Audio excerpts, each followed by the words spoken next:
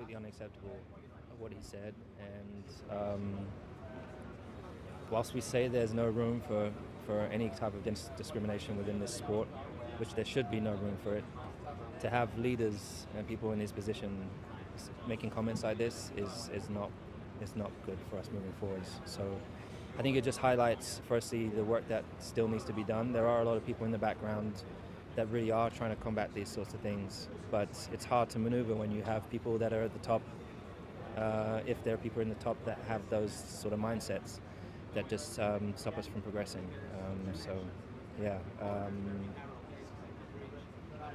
I'm not surprised, to be honest. yeah, I mean, he's issued an apology. Uh, were you surprised there wasn't anything from Red Bull or from Formula One itself or from the FIA?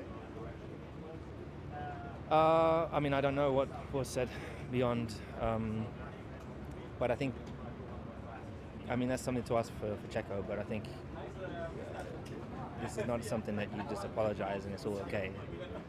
Um, I think there needs to be more done. I think uh, teams have, when they've had individuals from, particularly drivers, um, make comments, but some individuals in the back group, they, they, usually are removed or taken, or at least they put out a quote and say they don't support that sort of thing. So it is interesting that they haven't done so for this one, but, um,